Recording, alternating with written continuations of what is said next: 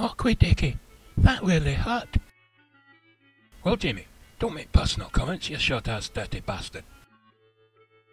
Orc, look up ahead. Okay, I see them.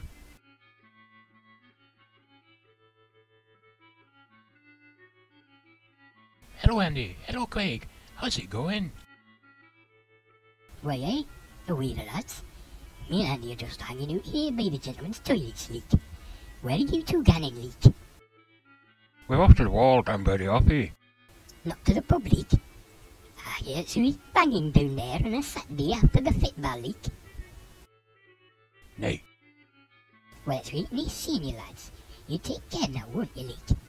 maybe see you later down the karaoke. Oh, yes. I'd love to witness George Michael's latest release slipping out of your lips, Jamie. Oh, well, I thought I might do something rockier tonight, Ken. Oh, you go your own way, Jamie. It's your charm, you handsome boy. Perhaps you could do some old queen up on stage in the club tonight.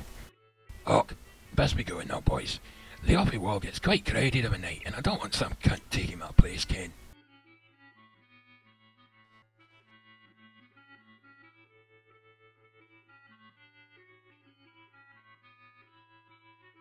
I think it's nice that we can talk to members of the gay community without resorting to crude terms and questioning their role in society. Aye, lad, but they still stick their cocks up each other's assholes. Okay, their own shit off the shaft and tip.